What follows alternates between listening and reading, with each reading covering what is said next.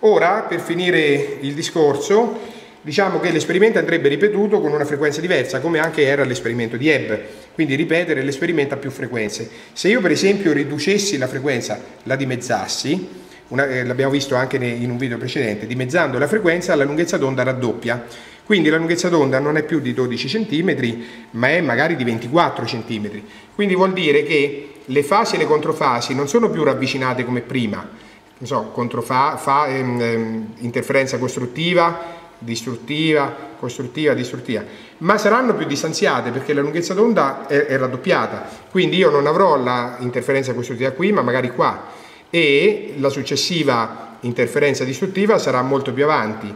Quindi distruttiva, costruttiva e le misure che potrò prendere saranno di meno perché a un certo punto il tubo finisce